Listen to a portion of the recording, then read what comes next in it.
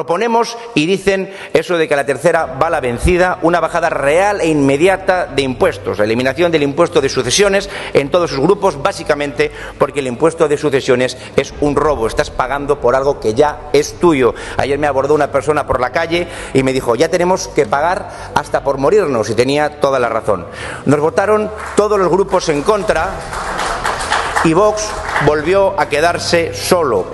Tengan por seguro que no pararemos hasta que eliminemos este impuesto y créanme que nosotros cumplimos nuestra palabra. Y también las deducciones en el IRPF desde el primer hijo nacido y con más de mil euros y no como ahora, que es a partir del tercer hijo y con una deducción de tan solo 500 euros. Y ya les dimos algunas ideas de cómo poder compensar esa pérdida de recaudación, como por ejemplo quitar las ayudas eh, al desarrollo a terceros países, el cierre de los centros de menas o que quiten las subvenciones a los sindicatos. Si no hay ayudas y apoyo a la natalidad, no habrá nacidos y sin nacidos no hay nación y la solución, como venimos diciendo siempre, no es suplir la falta de nacidos con inmigrantes ilegales, como tampoco es justo que nuestros jóvenes tengan que emigrar para buscar trabajo y aquí se traigan menas de Argelia, Marruecos o Mauritania.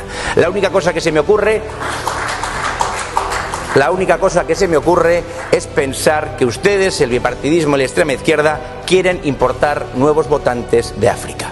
Las familias son importantes. Todas las políticas sociales deben tener una perspectiva de familia y, por tanto, es una prioridad redactar una ley de apoyo a las familias para impulsar la natalidad y proteger la maternidad.